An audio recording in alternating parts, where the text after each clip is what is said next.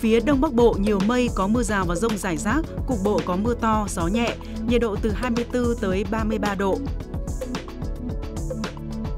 Phía Tây Bắc Bộ, nhiều mây có mưa rào và rông rải rác, cục bộ có mưa to, gió nhẹ, nhiệt độ từ 22 tới 32 độ. Các tỉnh từ Thanh Hóa đến Thừa Thiên Huế, nhiều mây có mưa rào và rông rải rác, cục bộ có mưa to, nhiệt độ từ 24 tới 37 độ.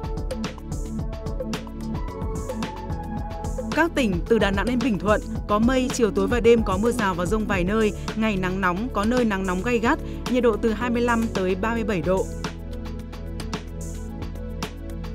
Khu vực Tây Nguyên có mây, chiều tối và đêm có mưa rào và rông vài nơi, ngày nắng, nhiệt độ từ 21 tới 32 độ.